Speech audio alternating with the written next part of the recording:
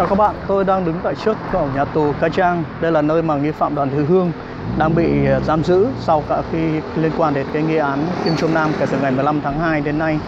À, đoàn Thị Hương đang ở trong một những nhà tù lớn nhất của bang Selangor và khu vực nhà tù này thường là dành cho những nghi phạm mà có trọng án, ví dụ như án tử hình hoặc là án ma túy.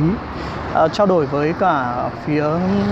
à, sứ quán Việt Nam tại Malaysia thì họ nói rằng là à, sứ quán đang rất là cố gắng trong cái các nỗ lực à, bảo hộ lãnh sự. Sứ quán đã đến thăm đoàn Thị Hương à, năm sáu lần và sứ quán cũng đã chọn những cái luật sư tốt để có thể là hỗ trợ cho đoàn Thị Hương ở trong những lần gặp gần nhất thì sứ quán thấy là cái tinh thần của anh đoàn thị hương khá là tốt và và tương đối bình tĩnh